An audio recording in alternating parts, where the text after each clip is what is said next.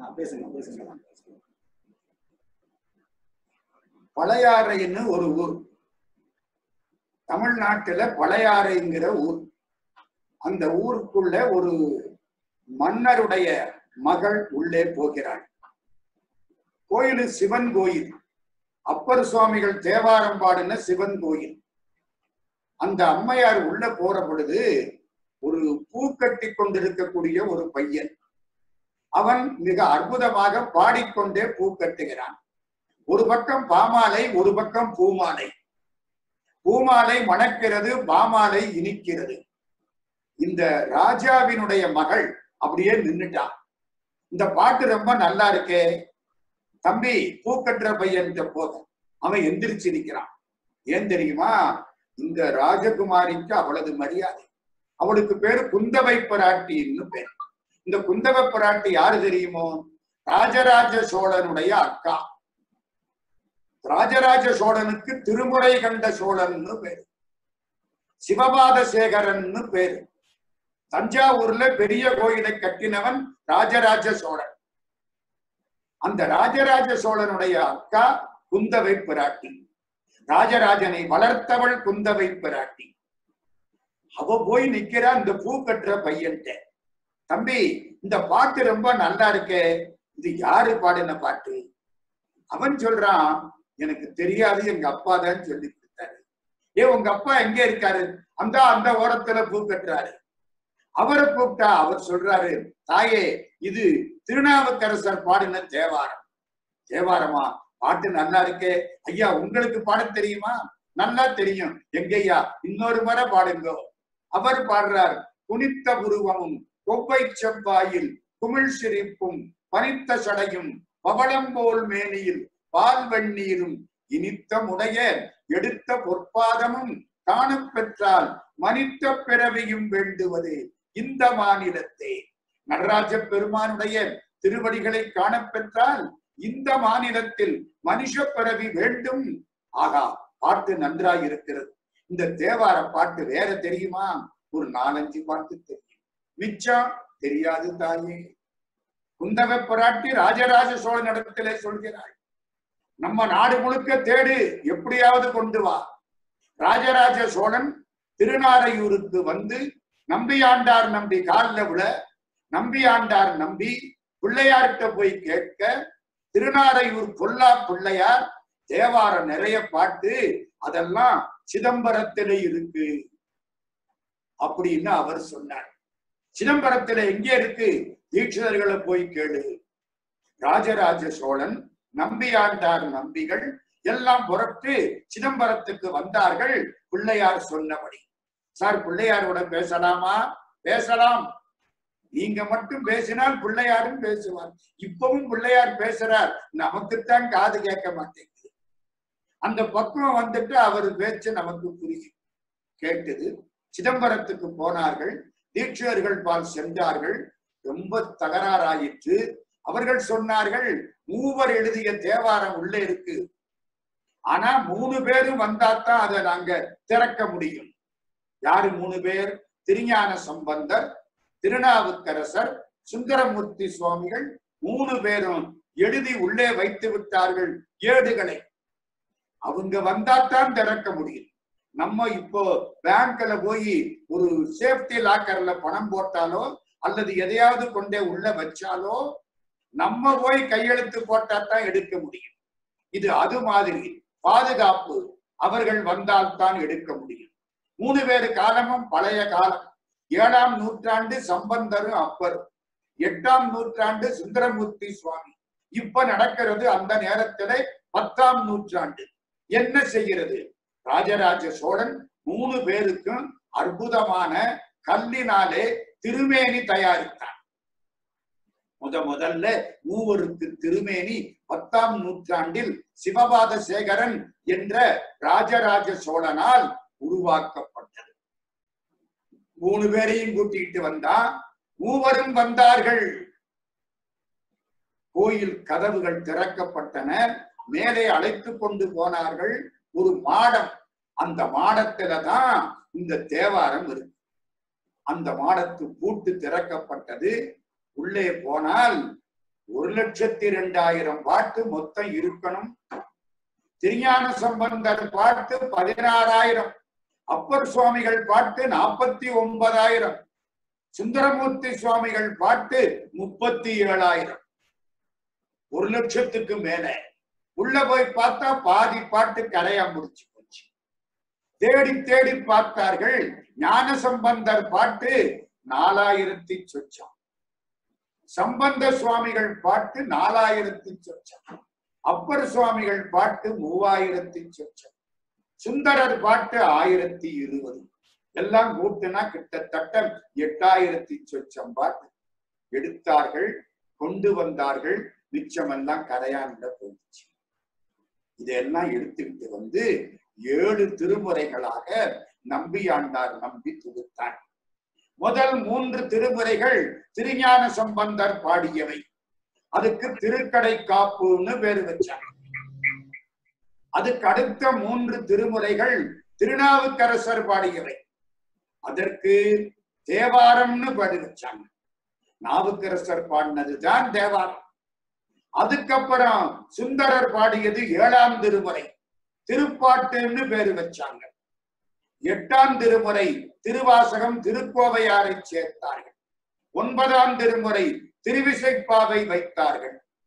பத்தாம் திருமுறையாக திருமந்திரத்தை வைத்தார் நம்பியாண்டார் நம்பிகள் பத்தாம் திருமுறையாக திருமந்திரத்தை வைத்தார். நம்ம சொல்லக்கூடிய அங்க மந்திரங்களில் பத்தாம் மந்திரம் நேத்திர மந்திரம்னு பேர். நேத்திரம்னா கண்ணுக்குரியது. திருமூலர் திருமந்திரம் கண்ணை திறக்கக்கூடியது. அதனாலே அதை நேத்திர மந்திரத்துக்கு சமமாக பத்தாவது திருமந்திரமாக பத்தாவது திருமுறையாக வைத்தார்கள். திருமூலர் திருமந்திரம் பத்தாம் திருமுறையாக வைக்கப்பட்டது அப்புறம் மற்ற பல பாட்டுகள் பதினோராம் திருமுறை என்று வைத்து நிறைவு செய்தார்கள். சேக்கிழார் வந்த பின்னால் பன்னெண்டாம் திருமுறையாக பெரிய புராணம் பிற்காலத்தில் சேர்க்கப்பட்டது.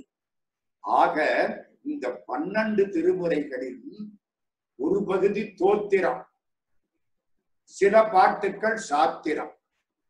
தோத்திரமும் சாத்திரமும் ஆன ஒரே நூல் திருமூலர் திருமந்திரம். நான் இன்னைக்கு முழுக்க முன்னுரை தான் சொல்ல போறேன். இந்த ஏழு திருமுறை சொன்னனே அதுக்கப்புறம் எட்டாம் திருமுறை திருவாசகம் சொன்னனே அது வரைக்கும் எல்லா பாட்டுகளும் சிவபெருமானுக்கு தான் அம்பாள் பராசக்திக்கு ஒரே ஒரு பாட்டு தான் எந்த பாட்டு தெரியுமா? திருவாசகத்திலே உள்ள திருவம்பாவையிலே காதார் குலையாட அந்த ஒரு பாட்டு தான் அம்பாளுக்குன்னு உள்ள பாட்டு. போதை குழலாட பண்டின் குழாமாட சீத புனல்லாடி சிற்றம்பலம் பாடி வேத பொருள் பாடி அப்பொருளா மாபாடி சோதி திறம்பாடி சூழ்கொன்றை கார்பாடி ஆதி திறம்பாடி அந்தமா மாபாடி வேதித்து நம்மை வளர்த்தெடுத்த பெய்வளைதன் பாதத்திறம்பாடி ஆடேலோரு விவாதாய் பெய்வளைதன் பாதத்திறம்பாடி நம்மை வளர்த்தெடுத்த பராசக்தியின் திறமையை பாடி. அத்தனை பாட்டும் சிவபெருமான் பெருமையைத்தான் பாடின்னு முடியும் இந்த ஒரு பாட்டு தான் பராசக்தியின் பெருமையை பாடி அப்படின்னு முடியும் எட்டாம் திருமுறை ஏன்? ஒன்பதாம் திருமுறை முடிய அத்தனை பாட்டும் சிவபெருமானுக்குத்தான் உரியவை. இப்போ முக்கியமான பத்தாம் திருமுறையில் முன்னூத்தி சொச்சம் பாட்டு அம்பாள் பராசக்திக்கு உரியது இந்த திருமூலர் திருமந்திரத்துல அப்படி என்னதான் சொல்றார்? அது என்ன அவருக்கு அவ்வளவு ராஜ மரியாதை ஒரு சில செய்திகளை மட்டும் உங்களுக்கு தெரிவதற்காக ஏதோ இந்த பேர்ட்ஸ் ஐ வியூன்னு சொல்லுவான் பாருங்க மேல இருந்து அப்படி பார்க்கிற மாதிரி ஒரு நான்கைந்து செய்திகளை மட்டும் திருமந்திரத்தில இருந்து சொல்லுகிறேன். அதுக்கு மந்திரம்னு பேர். நம்ம எல்லாரும் அடிக்கடி ஒரு பாட்டை படிப்போம். ஐந்து கரத்தனை ஆனை முகத்தனை இந்தி நிலம்பிரை கோலுமெயிற்றனை நந்தி மகந்தனை ஞான கொழுந்தினை புந்தியில் வைத்து அடி போற்றுகின்றேனே அப்படின்னு படிப்போம். இந்த பாட்டு தான் திருமூலர் திருமந்திரத்தில் கடவுள் வணக்க பாட்டுன்னு சொல்றோம். ஆனால் அந்த பாட்டு திருமூலர் பாடின பாட்டு அல்ல. பின்னால வந்த ஒருத்தர் நல்லா பாடியிருக்கார் பாட்டு நல்லா இருக்கு. யாரு? தெரியாது. ஆனா அதை கொண்டே சேர்த்து விட்டாங்க. ஏன்னா சேக்கிழார் பெருமான் திருமூலர் வரலாற்றை சொல்லுகிறார். சொல்ற பொழுது திருமூலர் ஒன்றவன் தானே என்று தொடங்கி பாடினார் அப்படின்னு சொல்றார். ஒன்றவன் தானே என்பது சிவபெருமானுக்காக பாடப்பட்ட முதல் பாடல். இப்ப நான் என்ன பண்றேன்? திருமூலர் வரலாற்றை சுருக்கமாக சொல்லுகிறேன் யார் இந்த திருமூலர்? அவர் என்னத்தை பாடினார்? நமக்கு அதனால என்ன லாபம்? அதுதான் இன்றைய பேச்சு. மதுரையில சுந்தரநாதர் என்று ஒருவர் வாழ்ந்து வந்தார். சார் எந்த காலத்துல? என் கணக்கு சரியா இருந்தா கிட்டத்தட்ட ஒரு ஆ- ஆறாயிரம் ஆண்டுகளுக்கு முன்னால. அடேங்கப்பா. அந்த காலம் தொல்காப்பியர் காலத்துக்கு முன்னால இருக்கட்டும். இந்த கால ஆராய்ச்சிக்குள்ள நான் போகல. அவருக்கு சுந்தரநாதர்னு பேர். நிறைய தமிழ் படிச்சார். இன்னும் ஞானம் கற்றுக்கொள்ள வேணும்னு ஆசை வந்தது. நேர புறப்பட்டு கைலாசத்துக்கு போனார். நந்தியம் பெருமான பார்த்தார். நந்தியம் பெருமான் சிவனுக்கு முன்னால உட்கார்ந்து இருப்பவர் அதிகார நந்தின்னு அவருக்கு பேரு. சிவபெருமானுக்கு நந்திக்கு அந்த மூச்சு காக்கு தொடர்பு உண்டு. நந்தி குருநாதன் சிவனுக்கே நந்தி என்னும் பேர் உண்டு. பற்றுக்கோடற்றவன் நந்தி. அந்த நந்தியம் பெருமான்கிட்ட போய் காலில் விழுந்தார். எனக்கு ஞானம் சொல்லித்தர வேண்டும். நந்தியம் பெருமான் கிட்ட அப்போ ஏழு பேர் படிச்சாங்க. சுந்தரநாதரை சேர்த்து எட்டு பேர் ஆச்சு. யாரு ஏழு பேர்? தட்சிணாமூர்த்திக்கு கீழே நம்ம கோயில்ல நாலு பேர் உட்கார்ந்து இருப்பாங்க சனகர் சனந்தனர் சனாதனர் சனத்குமாரர் நாலு பேர். அதுக்கப்புறம் நடராஜாவுக்கு கீழே பதஞ்சலி வியாக்கரபாதர் நாலு ரெண்டு ஆறு. சிவயோக முனிவர்னு ஒரு சித்தர் ஏழு பேர் படிச்சாங்க. நம்ம சுந்தரநாதர் சேர்ந்தார். நந்தியம் பெருமான் கிட்ட எட்டு பேர் படிச்சார்கள். சார் இதெல்லாம் உங்களுக்கு எப்படி தெரியும்? திருமூலர் திருமந்திரத்துல இதையெல்லாம் பாடுறார். நந்தி அருள் பெற்ற நாதரை நாடிடில் நந்திகள் நால்வர் சிவயோக மாமுனி மன்று தொழுத பதஞ்சலி வியாக்கிரமர் என்றிவர் என்னோடு எண்மரும் ஆமே. என்னையும் சேர்த்து எட்டு பேர் படிச்சோம் இந்த எட்டு பேரும் நந்தியம் பெருமானிடத்திலே ஞானத்தை கற்றுக்கொண்டார்கள். படிப்பு ஓரளவுக்கு நிறையுது. படிப்பு முடிஞ்சு போச்சுன்னு சொல்லக்கூடாது. படிப்பு ஒரு காலம் முடியாது. யாதானும் நாடாமால் ஊராமால் என்னொருவன் சாந்துணையும் கல்லாதவன். சாகுற வரைக்கும் படிச்சுட்டு இருக்கலாம். படிப்புக்கு முடிவு கிடையாது. எவனாவது நான் படிச்சு முடிச்சுட்டேன்னு சொன்னான்னா இன்னும் படிக்கவே தொடங்கலைன்னு அர்த்தம். படிப்பு கடைசி நேரம் போதும். என்ன செய்யலாம்? படிப்புக்கு என்ன பலன்? கோயிலுக்கு போய் சாமி கும்பிடுறது கோயிலா? கோயில்னா என்ன? அந்த காலத்துல கோயில்னா சிதம்பரம் தான் கோயில். சைவ பெருமக்களுக்கு கோயில் சிதம்பரம். வைஷ்ணவ பெருமக்களுக்கு கோயில் ஸ்ரீரங்கம். கோயில்னா இந்த ரெண்டு தான். சிதம்பரத்துக்கு போகணும். நடராஜாவை பார்க்கணும். உலகத்தினுடைய மையப்புள்ளி சிதம்பரத்தில் இருக்கிறது. அந்த மையப்புள்ளியில் தான் நடராஜ பெருமான் ஆடிக்கொண்டிருக்கிறார். அங்கே போய் நடராஜ தாண்டவத்தை பார்க்க வேண்டும். எட்டு பேரும் ஆகாச மார்க்கமா வந்தாங்க. சித்தர்கள். எட்டு பேர் வந்தாங்களா? நடராஜாவை பார்த்தாங்களா? நடராஜாவுடைய தாண்டவத்தில ஈடுபட்டாங்க. சனகர் சனந்தனர் சனாதனர் சனத்குமாரர் நாலு பேரும் தட்சிணாமூர்த்திக்கு கீழே யோகத்துல உட்கார்ந்துட்டாங்க. பதஞ்சலி யாரு? வியாக்கரபாதர் பதஞ்சலின்னா பாம்பு. வியாக்கரம்னா புலி. அவருக்கு பாம்பு கால் இவருக்கு புலிக்கால் பாம்பு கால் உள்ளவர் பதஞ்சலியார் புலிக்கால் உள்ளவர் வியாக்கரவாதர். ரெண்டு பேரும் நடராஜாவுக்கு பக்கத்துல அப்படியே நின்றுட்டாங்க. நாலு ரெண்டு ஆறு. சிவயோக மாமுனி ஆகாச பாதையில போயிட்டார். ஆறு ஒண்ணு ஏழு. நம்ம சுந்தரநாதர் மிச்சம். இவர் என்ன நினைச்சார்? நான் திரும்பி கைலாசத்துக்கு போறேன். நடந்து போகலாமா? ஆகாச மார்க்கத்திலே சித்தரானவையினாலே அப்படியே பறந்து போகலாமா? நடந்து போகும் ஏன்? நடந்து போனா வழியில உள்ள திருத்தலங்களை எல்லாம் கும்பிட்டுக்கிட்டே போகலாம். ஒரு திருத்தலம் கிடைச்சா கும்பிடணும். ஒரு நாள் அங்க தங்கணும். அங்க உள்ள தீர்த்தத்துல குளிக்கணும். ஆண்டவனை ராத்திரியும் காலையிலையும் வழிபாடு பண்ணணும். மூர்த்தி தலம் தீர்த்தம் முறையாய் தொடங்கினருக்கு ஒரு வார்த்தை சொல்ல சர்க்குருவும் வாய்க்கும் பராபரமே தாயுமானார் வாக்கு. புறப்பட்டார். சிதம்பரத்திலிருந்து புறப்பட்டார். ஒவ்வொரு ஊரா வந்துட்டு இருக்கார். எங்க போறார்? திருவாவடுதுறைன்னு ஒரு ஊர். ஆ அடுதுறை ஆன்னா பசுத்தன்மை. அடுன்னா அற்று போன இடம். பசுத்தன்மை அற்று பதித்தன்மை அடையக்கூடிய இடம். திருவாவடுதுறைக்கு வந்துட்டார். திருவாவடுதுறையில பெரிய நந்தி. சிவபெருமான பார்த்தார் கும்பிட்டார். ரொம்ப மகிழ்ச்சியா இருக்கு. ஒரு பெரிய அரச மரம். இங்கே தங்கிடலாமா வேண்டாம். சன்னியாசி ஒரே ஊரில் இருக்கக்கூடாது யாதானும் நாடாமால் ஊராமால் என்னொருவன் சாந்துணையுங்கல்லாதவார் சாகுற வரைக்கும் படிக்கணும். எல்லா ஊரும் நம்ம ஊரு தான் எல்லா ஊர்லயும் போயிருக்கணும் போதும் போயிடுவோம். புறப்பட்டார் திருவாவடுதுறையிலிருந்து கிட்டத்தட்ட ஒரு பதினஞ்சு இருபது கிலோமீட்டர் நடந்துட்டார். ஒரு காடு. காட்டு வழியில போயிட்டு இருக்க அந்த இடத்திலே ஒரு நாற்பது ஐம்பது பசுக்கள் எல்லாம் கண்ணீர் விட்டு கொண்டிருக்கின்றன.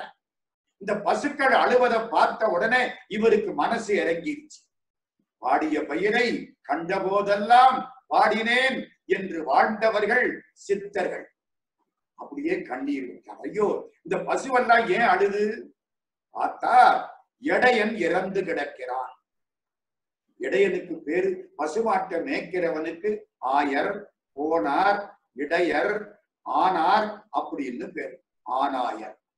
பார்க்கிறார் இடையன் இறந்து கிடக்கிறான். இடையனுக்கு பேரு மூலன்னு பேரு. இப்ப பசுமாடெல்லாம் துன்பம் தீரணும்னா இந்த இடையன் எந்திரிக்கணும். இல்லைன்னா பசுமாட்டுக்கு ஆறுதல் சொல்ல முடியாது. கண்ணீரை துடைக்க வேண்டும். என்ன பண்ணார் தெரியுமா? கூடு விட்டு கூடு பாய்ந்தார் அது என்ன சார்? பெரிய வார்த்தையா இருக்கே. இந்த உடம்புல இருந்து உயிரை எடுத்து அடுத்த உடம்பில் சேர்ப்பது. நான் ஒரு சின்ன விஷயம் சொல்றேன். சின்ன குழந்தை பிறந்த உடனே இந்த உச்சந்தலை இருக்கு பாருங்க. அங்கே நெடு நெடுன்னு இருக்கும். அந்த இடத்துக்கு பிரமரந்திர ஸ்தானம்னு பேர். இந்த உடம்பு வழி ஒழுங்காகிற பொழுது உயிர் அந்த வழியாத்தான் உள்ளே வந்தது. திரும்ப ஞானிகளுக்கு உயிர் அந்த வழியாத்தான் வெளியில போகும். நமக்கெல்லாம் எந்த வழியா வேணாலும் போகும். சில பேர் கண்ணை திறந்து செத்து கிடப்பான் அப்ப என்ன அர்த்தம்? உயிர் கண்ணு வழியா போயிருக்குன்னு அர்த்தம். அடுத்த பிறவியிலே கண்ணுக்கு இனிமையானதை பார்த்துக்கிட்டு உட்கார்ந்துருப்பான் சில பேருக்கு உயிர் காது வழியா போயிருக்கும். அப்போ காது விடைச்சிருக்கும். அடுத்த பிறவியிலே நல்ல கச்சேரி கட்டிட்டு உட்கார்ந்துருப்பான் சில பேருக்கு மூக்கு வழியா போயிருக்கும். அடுத்த பிறவியிலே நல்ல சந்தனம் ஜவ்வாது கமகமன்னு வாசத்துல உட்கார்ந்துருப்பான் சில பேருக்கு வாய் திறந்து கிடக்கும் வாய் வழியா போயிருக்கும். அடுத்த பிறவியிலே ருசியா சாப்பிடுறான் சில பேருக்கு கொக்கூள் வழியா போயிருக்கும் கொக்கூள் திறந்திருக்கும் அடுத்த பிறவி நிறைய சாப்பிடுறான் எந்த துவாரத்தின் வழியாக உயிர் போயிற்றோம் அந்த துவாரத்துக்குரிய இன்பத்தை அடுத்த பிறவியில் அதிகம் அனுபவிப்பான். ஆனால் சித்தர்களுக்கு உயிர் சாதாரணமாக உள்ளேயே அடங்கிவிடும் சில சமயம் வெளியில் போகுமானால் உச்சந்தல வழியா போகும் ஞானிகள் சாதுக்கள் சித்தர்கள் உச்சந்தல வழியா போகும் அதான் உயிர் போற வர்ற பாலை.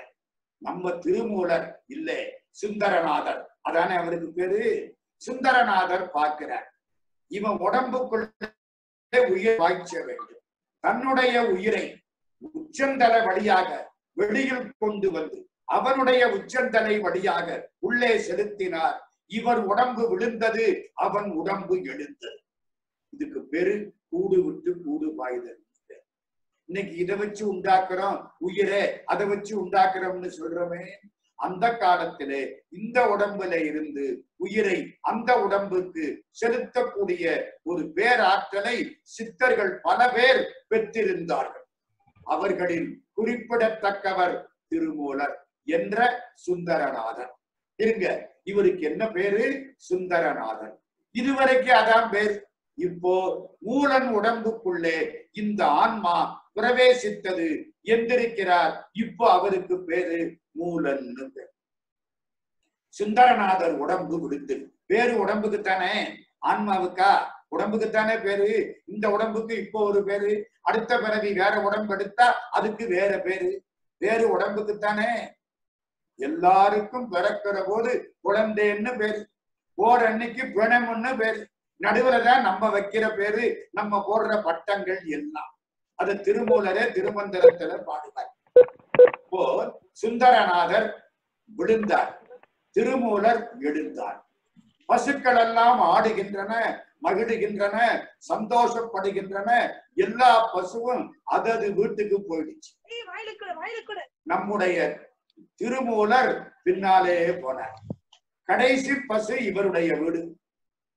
இவர் வீட்டுக்கு கடைசி பசு போயிடுச்சு. இவர் மனைவி அங்கிருந்து வர்றா. இவர் பக்கத்துல வர்றா. ஒதுங்கிங்க என்னடா இது? காலையில எப்பக்கத்துல வந்தாலும் இப்ப ஒதுங்குறாரு. உனக்கும் எனக்கும் உறவில்லை. என்ன ஆச்சரியமா இருக்கு? உள்ளே இருக்கிற ஆன்மா சுந்தரநாதர் ஆன்மா. காலையில இருந்தது மூலனுடைய ஆன்மா. இப்போ உடம்பு மூலன் உடம்பு ஆன்மா சுந்தரநாதருடைய ஆன்மா. உனக்கும் எனக்கும் உறவில்லை. நேர கோயிலுக்கு போனார். அரச மரத்தடிய பார்த்தார். பக்கத்துல கோயில்ல உட்கார்ந்து தியானத்துல அந்த அம்மா அடுத்த வீட்டுல சொல்லி எய்த்த வீட்டுல சொல்லி சொந்தக்காரங்கள்லாம் வந்து பார்த்து இவர் முகத்தை பார்த்தா முகத்துல கோடி சூரிய பிரகாசம். தேஜஸ் ஒளி. உள்ளத்தில் உண்மை ஒளி உண்டானால் வாக்கினிலே ஒளி உண்டாகும் பாரதி. அருமையான ஒளி. எல்லாரும் சொன்னாங்க இது நம்ம மூலம் இல்லை. இனிமேல் இவன் நமக்கு பயன்பட மாட்டான் நமக்கு பயன்பட மாட்டான் எதுக்கு பயன்பட மாட்டான் இருந்து புள்ள பெத்துக்கிறதுக்கு பயன்பட மாட்டான் ஆண்டொன்று போனால் வாண்டு ரெண்டு தோன்றும் அப்படின்னு குழந்தை பெத்துக்கிறமே அதுக்கு பயன்பட மாட்டான் விட்டுட்டு வா. அவனை விட்டு விட்டு எல்லாரும் போயிட்டாங்க. இப்போ மூலன் எழுந்திருந்தான் இங்க வரணும். சுந்தரநாதர் உடம்புக்குள்ளே இந்த ஆன்மாவை திரும்ப செலுத்தணும்.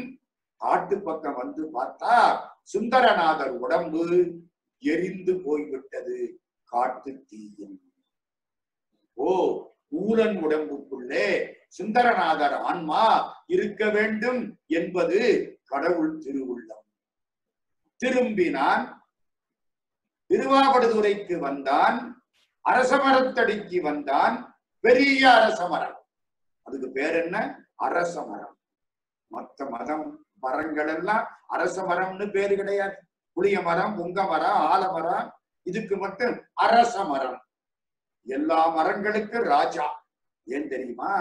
கார்பன் டை ஆக்சைடை அதிகம் இழுத்து கொண்டு ஆக்சிஜனை அதிகம் வெளிவிடுவது அரச மரம். அரச மரத்தடியில உட்கார்ந்திருந்தா ஞானம் கிடைக்கும். ரத்தம் சுத்தமாகும். அரச மரத்தடியில பிள்ளையார வச்சு மூணு மர நாலு மர நூறு மர சுத்தி வந்தா ஆக்சிஜன் உள்ள அதிகமா போறதுனால ரத்தம் சுத்தப்படும் பிறக்கிற பிள்ளை அறிவாளியா பிறக்கும். அதனாலதான் அந்த காலத்திலே தாய்மார்கள் அரச மரத்திலே பிள்ளையார வச்சு பிள்ளையாரையும் சுத்தி அரச மரத்தையும் சுத்தினார்கள். திருவாவடுதுறையிலே மிகப்பெரிய அரச மரம். அரச மரத்தின் கீழே தியானத்தில் அமர்ந்தார் திருமூலர். மூவாயிரம் ஆண்டுகள் இந்த உடம்பை அழியாமல் காப்பாற்றினார். அதுதான் முக்கியம். யோக சாஸ்திரம். உடம்புல ஆறு ஆதாரங்கள். நான் அதுக்கு அடுத்தாப்புல வர்றேன். மூவாயிரம் ஆண்டுகள். ஒரு ஆண்டுக்கு ஒரு பாடல். முதல் பாடல் ஒன்றவன் தானே இரண்டவன் இன்னருள் அப்படின்னு ஆரம்பிக்கும். அப்படின்னு சேக்கிழார் சொல்றார். அதனாலே முதல் பாட்டே ஒன்றவன் தானே இந்த கடவுள் வாழ்த்து பாட்டு பின்னால யாரோ சேர்த்த ஒன்றவன் தானேன்னு தொடங்கி மூவாயிரத்தி நாற்பத்தி ஏழு பாட்டு இப்ப கிடைக்குது. மொத்தம் மூவாயிரம் பாட்டுக்கள்னு ஒரு எண்ணிக்கை. ஏடுகள் மாறின சில பாட்டுக்கள் திரும்பவும் வந்தன. அதனாலே இன்னைக்கு திருமூலர் திருமந்திரம் மூவாயிரத்தி நாற்பத்தி ஏழு பாட்டு நமக்கு கிடைக்கிறது. இந்த திருமூலர் திருமந்திரம் அவ்வளவு காலத்துக்கு அவர் இருந்து பாடினார். அப்படின்னு இருபத்தெட்டு பாடல்களில் பெரிய புராணத்தில் சேர்க்கிறார் இந்த வரலாற்றை நிறைவு செய்கிறார். இப்போ நான் திருமந்திரத்துக்குள்ள போறேன். இந்த திருமந்திரத்துல என்னென்ன செய்திகள் இருக்கு அப்படிங்கிறத ஒரு நாலே நாலு செய்தி மட்டும். முதலாவது செய்தி நம்ம சைவ சித்தாந்தம். இது முக்கியமான செய்தி. இந்த ஒண்ணு சொல்லணும் உங்களுக்கு. இந்த வீட்டுல வாழைப்பழம் பார்ப்பீங்க மாம்பழம் சாப்பிடுறீங்க. பலாப்பழம் சாப்பிடுறீங்க. வாழைப்பழத்தை உரிச்சு உடனே சாப்பிடலாம். மாம்பழத்தை எடுத்து உரிச்சு கொட்டைய தள்ளிட்டு உள்ளே இருக்கிற ச சதையை சாப்பிடணும். பலாப்பழத்தை கைக்கு எண்ணெய் தடவிக்கிட்டு இல்லாட்டி அது ஒட்டும். எடுத்து தனித்தனி ஆக்கி உள்ள சொலை எடுத்து கொட்டையை தனியாக்கிட்டு அப்பளம் சாப்பிடணும் வாழைப்பழம் சாப்பிடுறது ரொம்ப ஈஸி மாம்பழம் சாப்பிடுறது கொஞ்சம் கஷ்டம். பலாப்பழம் சாப்பிடுறது கொஞ்சம் கூடவே கஷ்டம் மூணு வகையான பாட்டுகளும் உண்டு. வாழைப்பழ பாட்டு உண்டு மாம்பழ பாட்டு உண்டு பலாப்பழ பாட்டு உண்டு. நான் சொல்ல போறது முதல்ல வாழைப்பழ பாட்டு. எளிதா புரிகிற பாட்டு. நிறைய பாட்டு இருக்கு. நான் கிட்டத்தட்ட ஒரு அறுபது ஆண்டுகளாக திருமூல திருமந்திரத்துக்கு வாழ்க்கை பட்டிருக்கிறேன் எளிமையான பாட்டு சொல்ல போறேன். திருமூல திருமந்திரத்துல முக்கியமான வரிகள் ரெண்டு நினப்புல வச்சுக்கிடுங்க. ஒன்றே குலமும் ஒருவனே தேவன் யாரும் சொல்லல அதுவரை. ஒன்றே குலமும் ஒருவனே தேவன் நீ எந்த மதத்திலே இருந்து யாரை கும்பிட்டாலும் சரி அந்த இடத்திலே எங்கள் சிவபெருமான் வருவார். இது சைவ சித்தாந்தம். நீ எங்க வேணாலும் கும்பிட்டுக்கோ யார வேணாலும் கும்பிட்டுக்கோ. இதை ஆரம்பத்தில் ஒன்றே குலமும் ஒருவனே தேவனும். நன்றே நினைவின் நமன் இல்லை நாளும். சென்றே புகுங்கதி இல்லை நும் சித்தத்து. இன்றே நிலை பெற நீர் நினைந்து உய்வினே ஒரு கடவுள் ஒரு குலம் முதல்ல சொன்னது யாரு? திருமூலர். காலமெல்லாம் பார்த்தா மூணாம் நூற்றாண்டுக்கு முன்னால ஓடுது. அதுக்கு முந்தி மூவாயிரம் வருஷம். அதனாலதான் நான் வருஷத்தை அதிகமா சொன்னேன். இன்னொரு பாட்டு தெரியுமா? ரொம்ப முக்கியமான பாட்டு. யான் பெற்ற இன்பம் பெருக இவ்வையகம். எனக்கு கிடைத்த இன்பம் எல்லோருக்கும் கிடைக்கட்டும். இதெல்லாம் திருமூலர் திருமந்திரம். இப்போ நாலு விஷயம் சொல்ல போறேன். முதலாவது விஷயம் சைவ சித்தாந்த கருத்து அது கொஞ்சம் மாம்பழம். அதுக்கப்புறம் முடிஞ்சா ஒரு பலாப்பழம் கடைசியா ஒரு வாழைப்பழம். சைவ சித்தாந்த கருத்து பின்னால சைவ சித்தாந்தத்தை மெய்கண்டார் தொடங்கி வைத்தார். சிவஞான போதம். அதுக்கப்புறம் பதினாறு சாத்திரங்கள் வந்து விட்டன. திருமூலர் நாலே நாலு வரியில சைவ சித்தாந்தத்தை சுருக்கமாக சொல்கிறார்.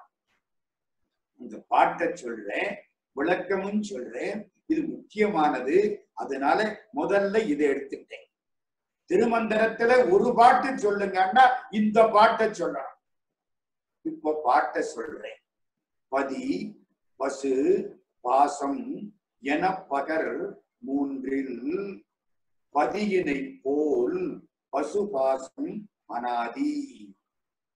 பதியினை சென்று அணுகா பசு பாசம் பதி அணுகில் பசு பாசம் இல்லாவே சார் இது பலாப்பழம் மாதிரி இல்ல தெரியுது. அப்படின்னு நினைக்கிறீங்க. பரவாயில்ல. எப்படி இருந்தாலும் சரி. இப்போ சைவ சித்தாந்த கருத்து சொல்ல போறேன். நமக்கு என்ன பேரு? நமக்கு பசுன்னு பேரு. இந்த ஆன்மாக்களுக்கு என்ன பேரு? பசுன்னு பேர். ஏன் பசுன்னு பேரு வச்சான் பசுன்னா கட்டப்படுவதுன்னு அர்த்தம். நம்மள உடம்போட சேர்த்து இந்த ஆன்மாவை கடவுள் கட்டி வச்சுட்டேன் இந்த பசுமாட்டை ஒரு கைத்த போட்டு பிடிச்சுக்குவோம். குதிரைய ரெண்டு கயிறு போட்டு இழுத்துக்குவோம். யானைக்கு மூணு சங்கிலி போட்டு கால்ல கட்டியிருப்பான்.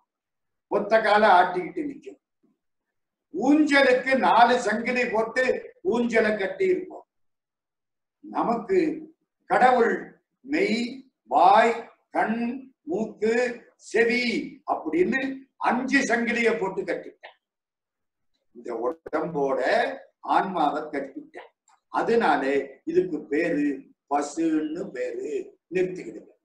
கடவுளுக்கு என்ன பேரு? பதின்னு பேரு. பதின்னா தலைவன். சரி. நமக்கு கடவுள் தெரியாதபடி நடுவுல ஒரு திரை மறைக்குது. நானுங்கிற ஆணவம் என்கிட்ட நான் சொன்னேன் நான் சம்பாதிச்சேன் நான் செய்யறேன் நான் யாரு தெரியுமில்ல? அடிக்கடி கேட்கிறோம். இப்பத்தான் ஒரு ஒன்றரை மாசமா இந்த நானுங்கிறதெல்லாம் நம்மள்ட்ட அடங்கி போய் கிடக்கு. இப்பத்தான் நமக்கு மேலே ஒருவனடா அப்படின்னு கும்பிட தொடங்கி இருக்கிறோம் அத்தனை பேரும்.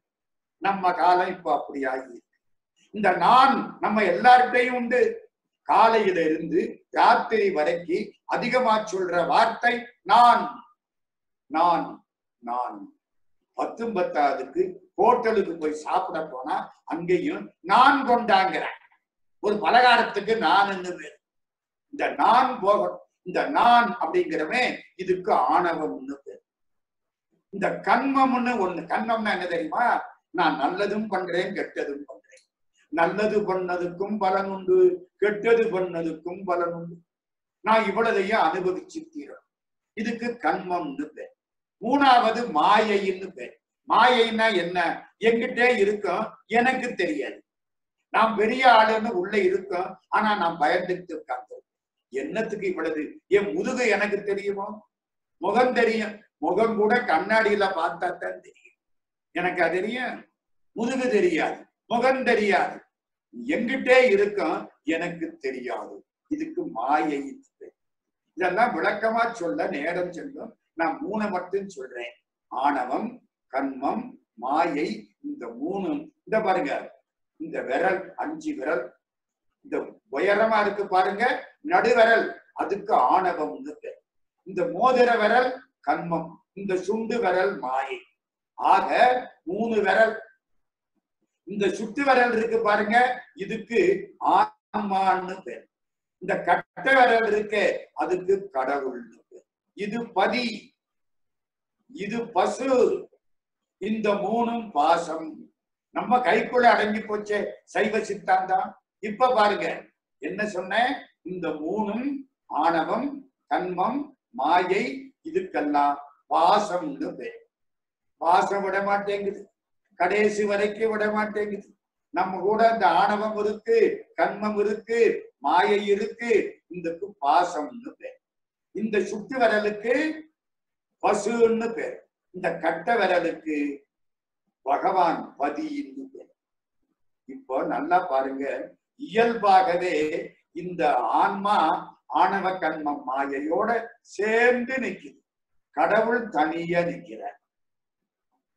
நமக்கு இயல்பு இந்த பாசத்தோடு சேர்ந்து இருப்பது இந்த பாசத்தை விட்டுவிட்டு இந்த பது இந்த பசு மெதுவா குனிஞ்சு கீழே வந்து பணிவா வந்தால் இறைவன் கிட்ட போய் இதை தன்னோடு இரண்டர கலந்து கொள்ள செய்வான். தட்சிணாமூர்த்தி இப்படித்தான் உட்கார்ந்து இருக்கார் ஐயப்ப சாமி இப்படித்தான் உட்கார்ந்து இருக்கார் இதுக்கு பேரு சின்முத்திரைன்னு பேரு. திரும்ப சொல்லவா? இயல்பாகவே பாசத்தோடு இந்த பசு இணைந்திருக்கிறது. பதி தனியாக இருக்கிறார். பாசத்தை விட்டுட்டு பசு பணிஞ்சு பக்தியினாலே அடங்கி குனிஞ்சு வந்தால் கடவுள் கொஞ்சம் பக்கத்துல போய் அதை தன்னோடு சேர்த்துக் கொள்வார். இவ்வளவுதான் சார் நம்ம சைவ சித்தாந்தம். திருமூலர் என்ன சொன்னார்? பதி பசு பாசம் என பகர் மூன்றில் பதியினை போல் பசு பாசம் அனாதி. முதல்ல கடவுள் வந்தாரா?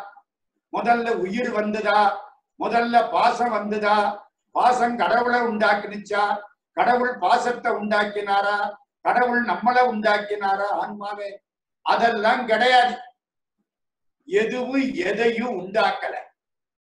கடவுள் இந்த ஆன்மாவை உண்டாக்கி இருந்தா இந்த ஆன்மா சுத்தமால இருந்திருக்கும். இப்படி அசுத்தமாவா போகும் ஒருவேளை கடவுள் பாசத்தை உண்டாக்கி இருந்தால் பாசம் தூய்மையால இருக்கும். ஆணவமா இருக்காது. ஒருவேளை இந்த பசு கடவுளை உண்டாக்கி இருந்தால் கடவுளும் கணிசமால கெட்டு போயிருப்பாரு. யோசிச்சு பாருங்க. ஒண்ணு ஒண்ணு உண்டாக்கல. எல்லாம் அனாதி. நான் சொல்றது நெற்றிக்கண் மாதிரி பாட்டு. பதி பசு பாசம் என பகர் மூன்றில் பதியினை போல் பசு பாசம் அனாதி. கடவுள் எப்படி என்னைக்கும் இருக்கிறாரோ இந்த உயிரும் இருக்கு. அட இந்த உடம்ப விட்டுட்டா வேற உடம்புல இருக்கு அவ்வளவுதானே? இந்த சட்டையை கலட்டி விட்டு வேற சட்டை மாத்திக்கிற மாதிரி இந்த உடம்ப கலட்டி விட்டு உயிர் வேற ஒரு உடம்ப போட்டுக்க போகுது. உயிருக்கு அழிவு கிடையாது. ஆண்டவனுக்கு அழிவு கிடையாது. இந்த பாசத்துக்கும் அழிவு கிடையாது. மூணு அப்படியே இருக்கு. இந்த ஆன்மா பாசத்தோட சேர்ந்து இருக்கிற வரைக்கும் கடவுளை சேர முடியாது. அங்கே இருந்து விட்டு விலகி வந்தால் கடவுளோடு சேரலாம். பதியினை சென்று அணுகா பசு பாசம் பசு பாசம் சேர்ந்திருக்கிற பொழுது பதியினை சென்று சேரும் பதி அணுகில் கடவுள் நினைச்சிட்டாருன்னா அதை விட்டு விட்டு இங்க வந்து சேர்ந்துடும் பதி அணுகில் பசு பாசம் நில்லாவே பசுவும் பாசமும் சேர்ந்து நிற்காது. கீழே இறங்கிடும். நீங்க இத எப்படிப்பட்ட பாட்டா எடுத்துக்கிட்டாலும் சரி. ஆனா முக்கியமான பாட்டு. திருமந்திரம் தான் சைவ சித்தாந்தத்தை தொடங்கி வைத்தது. ஒன்னே ஒண்ணு சொல்றேன். ஒரு பலாமரம் பலாப்பழம் பத்து பழம் இருக்கு. எல்லா பழமும் ஒரே மாதிரி தானே ருசிக்கும். ஆமா. ஒரு மாமரம் ஆயிரம் மாங்காய் காய்ச்சது. எல்லா மாங்காயும் ஒரு மாதிரி தானே இருக்கும். ஆமா. ஒரு தாய் அஞ்சு பிள்ளை எல்லா பிள்ளையும் ஒரு மாதிரித்தானே இருக்கணும். இருக்கா? இல்லையே. மூத்த பையன் முரட்டு பையனா இருக்கான். ரெண்டாவது பையன் ஆணவக்காரனா இருக்கான். மூணாவது பையன் அறிவாளியா இருக்கான். நாலாவது பையன் படிக்காமலே கெட்டிக்காரனா இருக்கான். அஞ்சாவது பையன் ஒண்ணும் செய்யாம ஊர்ல பெரிய அரசியல்வாதி ஆகிறான். சொல்ல முடியலையே. அஞ்சு விரல் மாதிரி அஞ்சு பேரு அஞ்சு விதமா இருக்கானே. ஏன்? கடவுள் அப்படி படைச்சாருன்னு சொன்னா கடவுளுக்கே பேரு கெட்டு போயிருமே. அது என்ன? அவனை பணக்காரனா படைச்சு என்னை ஏழையா படைக்கிறது? அவனை அறிவாளியா படைச்சு என்னை அறிவில்லாதவனா படைக்கிறது? அப்படி படைச்சா கடவுள் பண்றது தப்புன்னு ஆயிரும். எதனால சார் இப்படி? எந்த மதமும் இதற்கு பதில் சொல்ல முடியவில்லை. சைவ சித்தாந்தம் பதில் சொன்னது போன பிறவிகளில் நீ செய்த நன்மை தீமைகளின் பலனாக உனக்கு இந்த உடம்பு தரப்பட்டது. நாம் பண்ண நல்லது தீமைக்கு தகுந்த மாதிரி எனக்கு உடம்பு. நீங்க பண்ண நல்லது தீமைக்கு தகுந்த மாதிரி உங்களுக்கு உடம்பு. ஒருத்தர் தொண்ணூறு வயசுல ஓடுறார். ஒருத்தர் இருபது வயசுல எந்திரிக்க முடியாம தவிக்கிறார். ஒருத்தர் நல்லா பாடுறார். ஒருத்தர் பாட முடியாம தவிக்கிறார். ஒருத்தர் ஆணவத்தோட இருக்கார். ஒருத்தர் பணிவோட இருக்கார். நீ பண்ணன எனக்கு தகுந்தாப்புல உடம்பை உனக்கு கொடுத்தவன் இறைவன். யாரு சொல்றா? திருமூலர் சொல்றா. பின்னின்று இடிந்து. நம்மெல்லாம் அங்கிருந்து வந்தோம். வினைக்கு ஈடாய் மெய் கொண்டு. வினையினா பண்ணன கல்வினை தீவினை. அதுக்கு தகுந்தாப்புல உடம்பு. நாம் பண்ணன நல்வின தீவினைக்கு தகுந்தாப்புல எனக்கு உடம்பு. பின் நின்று இடிந்து. வினைக்கு ஈடாய் மெய் கொண்டு. தன்னின்ற தாளை தலைக்காவல் முன் வைத்து கடவுள் என்னை காப்பாத்துறேன்னு வந்தார். என் கூடவே இருக்கிறார். நான் தப்பு பண்ற போதெல்லாம் இது தப்புடா அப்படின்னு மனசாட்சியா இருந்து கொஞ்சம் கொஞ்சமா கொஞ்சம் கொஞ்சமா என்னை பக்குவப்படுத்துறார். இந்த பிறவி அடுத்த பிறவி அடுத்த பிறவி மெது மெதுவா பக்குவப்படுத்துறார்.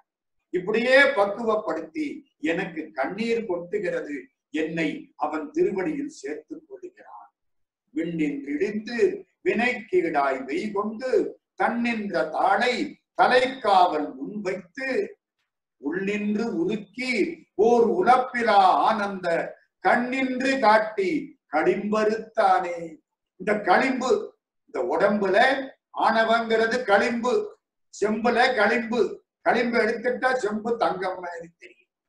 திருமூல திருமந்திரத்திலே நிறைய பாட்டுகள். இப்போ ஒரு வாழைப்பழ பாட்டுக்கு போகட்டுமா? வேண்டாம். ஒரு மாம்பழ பாட்டு அப்புறம் ஒரு வாழைப்பழ பாட்டு. இப்போ ஒரு மாம்பழ பாட்டு. கொஞ்சம் புரியும் நல்லாவே புரியும். ஒருத்தன் தெருவழிய போயிட்டு இருக்கான்.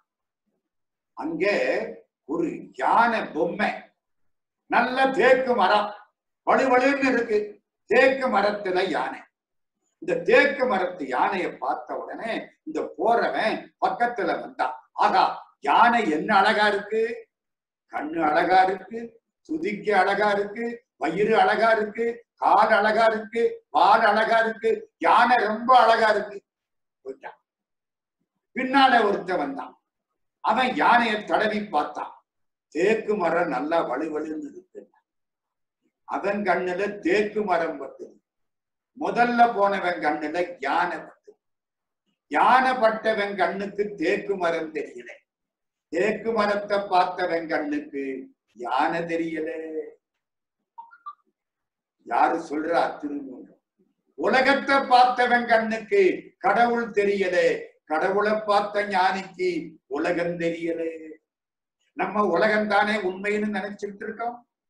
இது இன்பம் அது இன்பம் எல்லாம் நினைச்சுக்கிட்டு இருக்கமே. இதெல்லாம் பொய்ன்னு எப்ப தெரியும்? கடவுளை பார்த்தா தெரியும். கடவுளை பார்த்த ஞானிக்கு உலகம் தெரியல. உலகத்தை பார்த்த மனுஷனுக்கு கடவுள் தெரியலே. மரத்தை மறைத்தது மாமத யானை. தேக்கு மரத்தை யானை மறைச்சிருச்சு முதலாளிக்கு. மரத்தில் மறைந்தது மாமத யானை. இந்த இரண்டாவது ஆளுக்கு யானைக்குள்ளே மரம் மறையாம மரத்துக்குள்ளே யானை மறைஞ்சிருச்சு. மரத்தை மறைத்தது மாமத யானை. மரத்தில் மறைந்தது மாமத யானை. மரத்தில் மறைந்தது பார்முதல் பூதம். பரம்னா கடவுள். பார்முதல் பூதம்னா இந்த வான் மண் வழி ஒளி தண்ணி எல்லாம். கடவுளை பார்த்தவனுக்கு ஐம்பூதங்கள் மறைந்தன. ஐம்பூதங்களை பார்த்தவனுக்கு கடவுள் மறைந்தான் வரத்தை மறைத்தது பார்முதல் பூதம். பரத்தில் மறைந்தது பார்முதல் பூதம். நாலு வரிதான். இன்னொன்னு தெரியுமா? திருமூல திருமந்திரத்துல எந்த பாட்டை எடுத்தாலும் ஒவ்வொரு வரியிலையும் புள்ளி எழுத்த விட்டு விட்டு எண்ணினால் பன்னெண்டு எழுத்து வரும். மூவாயிரத்து சொச்சம் பாட்டு அப்படித்தான். ஒரு எடுத்துக்காட்டு சொல்லவா? இந்த பாருங்க. இப்போ ஒரு எளிமையான வாழைப்பழ பாட்டு சொல்றேன். சிவ சிவன்னு சொல்லு போதும். நமக்கெல்லாம் ரொம்ப பேருக்கு இந்த பாட்டு தெரியும். அந்த காலத்துல நம்முடைய தாத்தா இந்த பாட்டை அடிக்கடி சொல்லி இருப்பார் நமக்கு கொடுத்து வச்சிருந்தா சிவ சிவ என்கிறர் தீவினையாளர். சிவ சிவன்னு சொல்லலைன்னா தீவினை தோல்ல உட்கார்ந்து இருக்குன்னு அர்த்தம். சிவ சிவ என்றிட தீவினை மாளும் சிவ சிவன்னு சொன்னா தீவினை மாண்டு போய்விடும். சிவ சிவ என்றிட தேவரும் ஆவர். சிவ சிவன்னு சொன்னா தேவர்களுடைய நிலை நமக்கு கிடைக்கும். சிவ சிவ என்ன? சிவகதி தானே. சிவ சிவன்னு சொன்னா சிவபெருமானுடைய கதியே கிடைக்கும். இந்த பாட்டு எளிமையா இருக்கா? சிவ சிவ என்கிறர் தீவினையாளர். கொஞ்சம் எண்ணி பார்ப்போமா? சிவ சிவ என் புள்ளிய விட்டுறணும்ல கி ல இரு விட்டுருங்க. தி வி நை யா ல இரு விட்டுருங்க. எத்தனை எழுத்து? பன்னெண்டு எழுத்து. புள்ளி எழுத்த விட்டு விட்டு எண்ணினால் ஒவ்வொரு வரியிலையும் பன்னெண்டு எழுத்து வரும். அநேகமா தொண்ணூத்தி ஒன்பது பர்சன்ட் இது பொருந்தும். சில பாட்டுகள் பாட பேதத்தினாலே முன்ன பின்ன வரலாம். எழுதினவன் கொஞ்சம் மாற்றி எழுதி இருக்கலாம் ஏட்டில எழுதி எடுத்து எழுதினவன் சிவ சிவ என்கிறர் தீவினையாளர் சிவ சிவ என்றிட தீவினை மாடும் சிவ சிவ என்றிட தேவரும் ஆவர் சிவ சிவ என்ன சிவகதி தானே. இன்னும் ஒண்ணு சொல்றேன். ஒவ்வொரு பாட்டும் எளிமையான பாட்டு தான் இப்ப போறேன். இப்ப நான் பார்க்கிற பாட்டு எளிமையான பாட்டுகள். அதுக்குள்ள ஒரு சின்ன விஷயத்தை சொல்லிக்கிறேன் இந்த உடம்பு வேணுமா வேண்டாமா? நம்ம ஆளெல்லாம் என்ன சொன்னா ஐயோ உடம்பு வேண்டாம். இந்த உடம்பு என்பது காயமே இது பொய்யடா. வெறும் காற்றடைத்த பையடா. அப்படித்தானே எல்லாரும் சொல்றா உடம்பு பொய். இதுக்கு மெய்யின்னு பேரு வச்சிருக்கேன். தப்பு. ஏன் சார் உடம்புக்கு மெய்யின்னு பேரு வச்சா மெய்யான கடவுள் உள்ள இருக்கிறதுனாலே இதுக்கு மெய்யின்னு பேரு வச்சா இல்லாட்டி இது பொய் இருப்பது பொய் போவது மெய் உடம்பு என்பது சுமை பிறப்பருக்கள் உற்றார்க்கு உடம்பும் மிகை. அப்படித்தானே சொன்னோம். திருமூலர் சொல்கிறார் உடம்பு வேணும். சுவர் இல்லைன்னா சித்திரம் எழுத முடியாது. உடம்பு இல்லைன்னா நீ யோகியாக மாறி ஞானம் அடைய முடியாது. உடம்பினை முன்னம் இழுக்கென்றிருந்தேன். இந்த உடம்பு இழுக்கு வேண்டாம் அழுக்கு அப்படின்னு நினைச்சுக்கிட்டு இருந்தேன் உடம்பினை முன்னம் இழுக்கென்றிருந்தேன். உடம்பினுக்குள்ளே உருபொருள் கண்டேன். உடம்புக்குள்ளே கடவுளுங்கிற உருபொருளை பார்த்தேன். கடவுள் எங்கே இருக்கார்? திருப்பதியில இருக்காரா? பழனியில இருக்காரா? கோலாலம்பூர்ல இருக்காரா? சிக்காகோவில் இருக்காரா? எங்கேயும் கடவுள் இருக்கிறார். சார் நமக்கு தெரியலையே. இங்க பார்த்தா தான் அங்க பார்க்கலாம். கடவுள் முக்கியமா நம்ம மனசுக்குள்ளே இருக்க நீ எப்ப மனசுக்குள்ள கடவுளை பார்த்தியோ அப்பதான் நீ வெளியிலையும் கடவுளை பார்க்க முடியும். உள்ளத்தின் உள்ளானடி அது நீ உணர வேண்டுமடி. உள்ளத்தில் காண்பாயெனில் கோயில் உள்ளேயும் காண்பாயெனில் தேடி கண்டு கொண்டேன் திருமாலோடு நான் முகனும் தேடி தேடோனா தேவனை என் உள்ளே தேடி கண்டு கொண்டேன் என் உள்ளே. அப்பர் சுவாமி வாக்கு கடவுள் இங்கதான் இருக்கிறார். நீ இங்க பார்த்தீன்னா மத்த எல்லா இடத்திலையும் கடவுளை பார்க்கலாம். இங்க பார்க்கலன்னா எல்லா இடத்திலையும் கடவுளை பார்க்க உன்னால் முடியாது. அதனாலே கடவுளை எங்க பார்க்கணும்? இங்க பார்க்கணும். இதெல்லாம் யாரு? திருமூலர் திருமந்திரத்திலே உள்ள சில பாட்டுகள் ஒரு செய்தியை சொல்லணும் நினைச்சு அதான் இப்போ முடிக்க போறேன். ஒரு செய்தியை சொல்றேன். இந்த உடம்பு வேணுமா வேண்டாமா? வேணும். இந்த உடம்பு நமக்கு தெரியுது. இதுக்குள்ளே இருக்கிற கல்லீரல் கணையம் இதயம் இதெல்லாம் டாக்டருக்கு தெரியுது.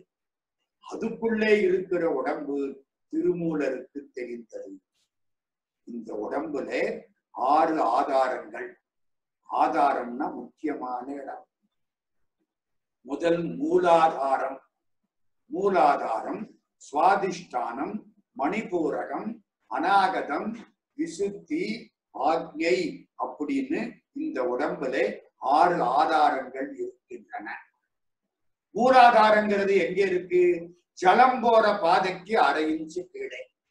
மலம் போற பாதைக்கு அரை இன்ச்சு மேலே. கருவிடும் வாசலுக்கு இருவிரல் கீழே. எருவிடும் வாசலுக்கு இருவிரல் மேலே. எல்லாம் திருமூலர் வார்த்தை. மலம் போற பாதைக்கு அரை இன்ச்சு மேலே. ஜலம் போற பாதைக்கு அரை இன்ச்சு கீழே. அந்த இடத்துக்கு மூலாதாரம் என்பது. அம்மா கிட்ட இருந்து அப்பா உடம்புக்குள்ள போன பொழுது மடக்கிக்கிட்டு இதுதான் முதல்ல போனிச்சு அதுக்கப்புறம் தான் உடம்பு கீழையும் மேலையும் வளர்ந்தது மூலாதாரம். அதுக்கப்புறம் ஜலம் போற பாதை சுவாதிஷ்டானம். அதுக்கப்புறம் இந்த கொப்பூல் மணிபூரகம். அதுக்கப்புறம் இந்த இதயம் அநாகதம். அதுக்கப்புறம் இந்த தொண்டை. மூலாதாரம் சுவாதிஷ்டானம் மணிபூரகம் அநாகதம். இதுக்கு விசுத்தின்னு பேர். இந்த புருவ மத்திய ஸ்தானத்துக்கு ஆக்ஞைன்னு பேர். மூலாதாரத்துல ஒரு அக்னி இருக்கு இந்த அக்னியை பிராணாயாமத்தின் மூலம் எழுப்பினால் முதுகுத்தண்டு வழியா மேல வரும். நான் சொன்னது பூரா முதுகுத்தண்டுல உள்ள புள்ளிகள். முதுகுத்தண்டுக்கு வீணாத்தண்டு மூலாதாரத்து அக்கினி பிராணாயாமத்தின் மூலம் பிராணாயாமம்னா என்ன? இன்னொரு நாளைக்கு பார்ப்போம். எழுப்பினால் அந்த அக்கினி ஒவ்வொரு ஆதாரத்தின் வழியாக வந்து துரமரந்திர ஸ்தானத்துக்கு முன்னால இந்த புருவம் மத்தியில குங்கும பொட்டு வச்சிருக்கிற இடத்துல வந்து நிற்கும். இங்க நின்னுட்டா அற்புதமான அமுதம் அங்கிருந்து சொட்டும். இது சந்திர மண்டலம். இந்த இடம் அமுதம் சொட்டும்.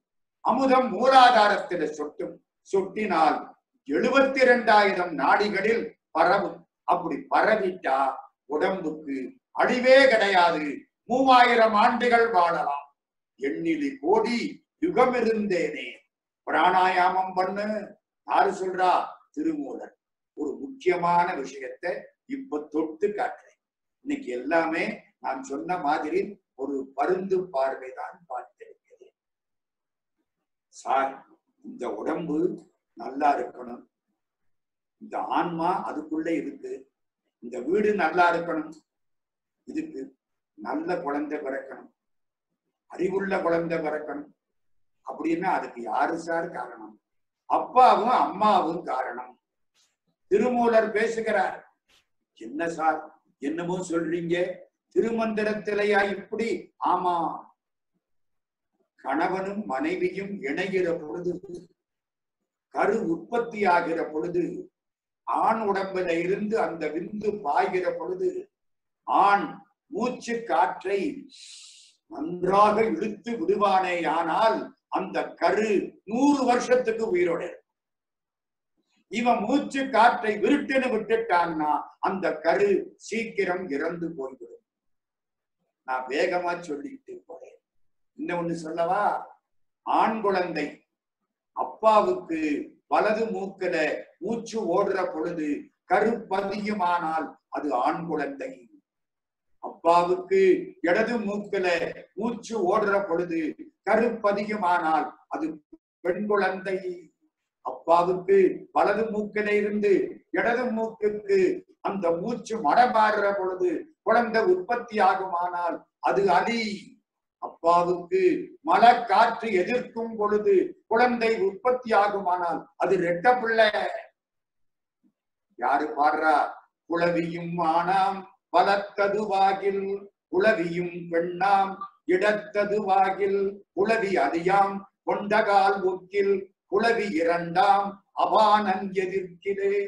சார் அப்ப அம்மாவுக்கு வேற வேலையே கிடையாதா? இருக்கு. அம்மா வயிற்றிலே மலம் சேர்ந்து இருக்கிற பொழுது குழந்தை உற்பத்தி ஆனால் முட்டாள் பிள்ளையாக பிறக்கும்.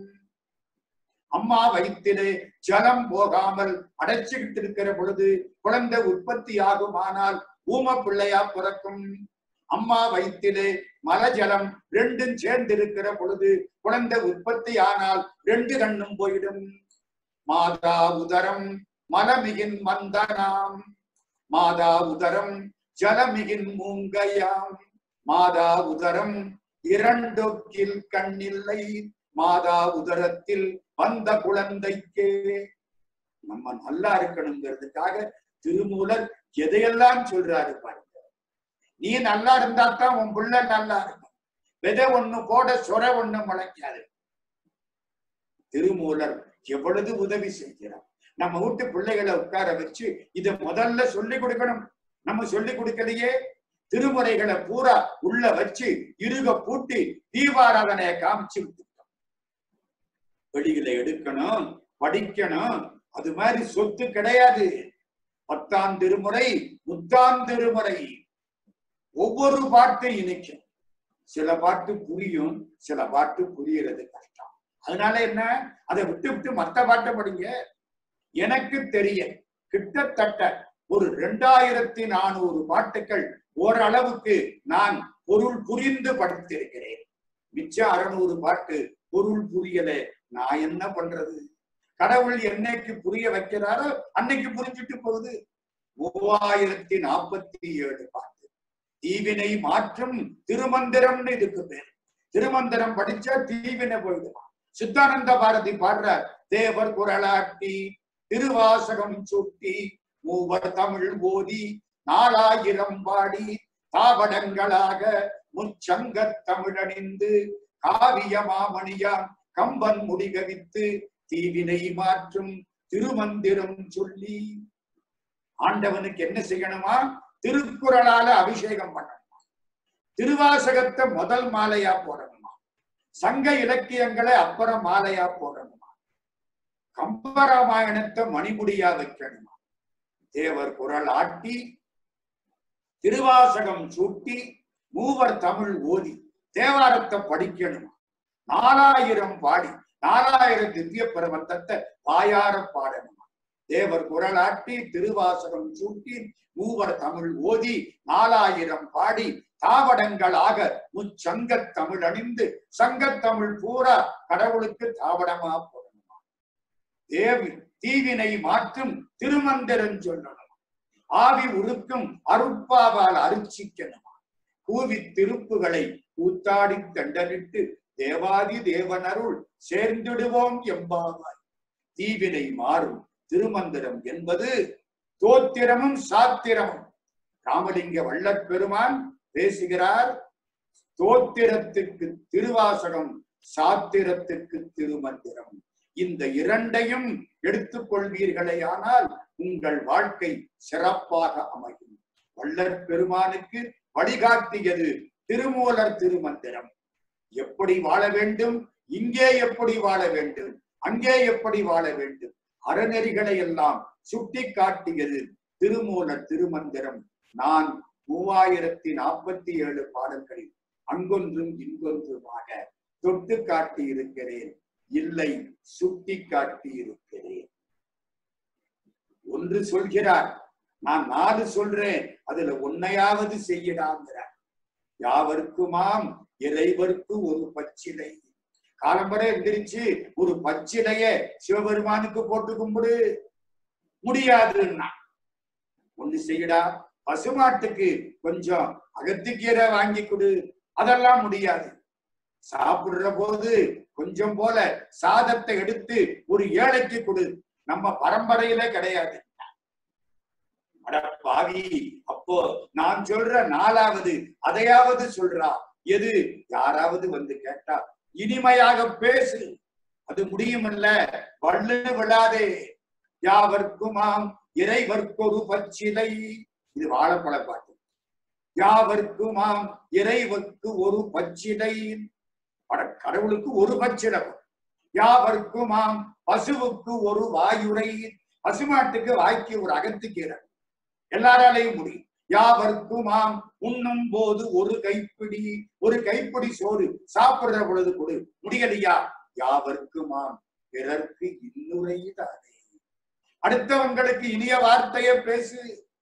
இனிய உளவாக இன்னாத கூறல். கனியிருப்ப காய்க வந்தற்று திருக்குறளில் சொல்லப்பட்ட அறங்கள் பெரும்பகுதி திருமந்திரத்தில் வருகின்றன. யோக நூல் அது தோத்திர நூல் சாத்திர நூல் பிராணாயாமத்தை சொல்லக்கூடிய நூல் நூறாண்டு வாழ்வதற்கு வழிகாட்டக்கூடிய நூல் ஜீவன் குறைந்து சிவமாவது எப்படி என்று பேசக்கூடிய நூல் சித்தர்களில் தலையாயவர் திருமூலர்.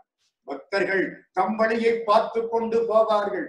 சித்தர்கள் எல்லா உயிரும் இன்புற்று வாழ்க. எல்லாருக்கும் உதவி செய்ய வேணும் என்று எண்ணுவார்கள் சித்தர்களில் தலையாயவர் திருமூலர். நம்பிரான் திருமூலன் அடியார்க்கும் அடியே என்று சுந்தரர் பாடுகிறார். திருமூலருடைய அற்புதமான நூல் இது. அவர் பாடிய முன்னூறு மந்திரம் என்று ஒரு நூல் முப்பது உபதேசம் என்று ஒரு நூல் இருப்பதாக சொல்கிறார்கள். மூலம் உரை செய்த மூவாயிரம் தமிழ். மூலம் உரை செய்த முன்னூறு மந்திரம். மூலம் உரை செய்த முப்பது உபதேசம். மூலம் உரை செய்த மூன்றும் ஒன்றாமே என்று ஒரு பாடல் இருக்கிறது. அதெல்லாம் விற்கால் பெருகும் திருமூல திருமந்திரம். வாழைப்பழ பாட்டையாவது படிக்கலாம்ல? ஆனா மாம்பழ பாட்டை கொஞ்ச நாளைக்கு அப்புறம் படிப்போம். பலாப்பழ பாட்டை தொட்டாவது பார்ப்போம். இந்த நாட்டில அற்புதமான நூல்கள். தமிழனுக்கு கிடைச்ச மாதிரி பக்தி பாடல்கள் வேற யாருக்கும் கிடைக்கிறது ஜியு போப்பையர் எழுதினார் அந்த காலத்திலே. மேல் நாட்டிலே உள்ள எல்லா ஆன்மீக பாடல்களையும் ஒரு தராசு தட்டில் வைத்து திருவாசகத்திலே உள்ள ஒரே ஒரு வரியை இன்னொரு தட்டில் வைத்தால் மேல்நாட்டு தட்டு மேலே போய்விடும் திருவாசக தட்டு கீழே இருக்கும். அது என்ன வரி? இமை பொழுதும் என் நெஞ்சில் நீங்காதான் தாழ்வாழ்க கடவுள் எமைக்கிற பொழுது கூட என்னை விட்டு போகவில்லை. இந்த ஒரு வரி போர் அப்படி திருமூல திருமந்தரம் திருவாசகம் மாதிரி இனிக்கக்கூடியது. அதிலே ஒரு குறிப்பிட்ட ஒரு சில பாடல்களை மட்டும் சொல்லக்கூடிய வாய்ப்பு தந்த எல்லாருக்கும் என்னுடைய நன்றி கலந்த வணக்கங்களை உரித்தாக்கிக் கொள்ளுகிறேன். என்னையும் ஒருவனாக்கி இரும் கடல் சென்னையில் வைத்த சேவக போற்றி என்ற திருவாசகத்தை நினைவு செய்து நெஞ்சத்தே நின்று நிறைவு தரும் மீனாட்சி கஞ்சமலர் சேவடிக்கு கைகூப்பி தண்டனிட்டு இதை பார்க்கக்கூடிய எல்லா அன்பர்களுக்கும் பொருந்திய தேசும் புகழும் குறையும் திருந்திய இன்பமும் செல்வமும் சேர்க என்று மகிழ்ச்சியோடு வாழ்த்தி ஏற்பாடு செய்த அன்பு நண்பர் கார்த்திக் நடேசன் அவர்களுக்கு என்னுடைய மனமார்ந்த நன்றியை தெரிவித்து இந்த திருமந்திர உரையை இந்த அளவில் நிறைவு செய்கிறோம். நன்றி வணக்கம். நன்றி ஐயா தேங்க்யூ ஒரு மணி நேரத்துல ரொம்ப ரொம்ப பியூட்டிஃபுல்லா சொன்னீங்க ரொம்ப நல்லா இருந்துச்சு. So and thanks for all the participants also to join the call இங்கெல்லாம் பகல் நேரம் இன்னைக்கு வேலை பார்க்குறாங்க. ஆனாலும் ஒரு மணி நேரம் வேலைக்கு நடுவில் லீவ் எடுத்துன்னு வந்து கேட்டதுக்கு நான். ஒரு பத்து நிமிஷம் ஒரு கேள்வி செஷன் வைக்கலாம் நல்லா வைக்கலாம் நல்லா வைக்கலாம்